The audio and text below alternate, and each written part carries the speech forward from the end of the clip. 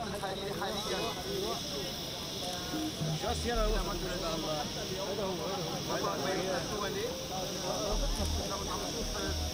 حالة الإحباط التي تسود بلادنا وحالة التشرذم والانقسامات وتغليب المصالح الخاصة على المصلحة العامة واستهداف الأمن الإقليمي.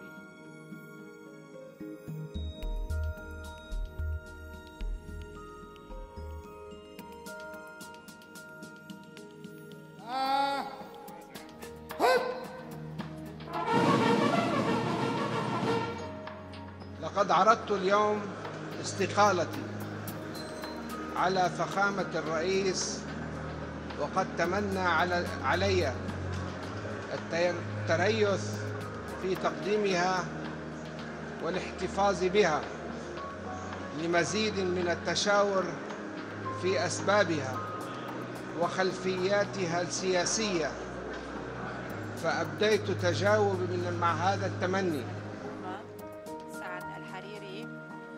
عملت في هذه الأثناء على التصفيق.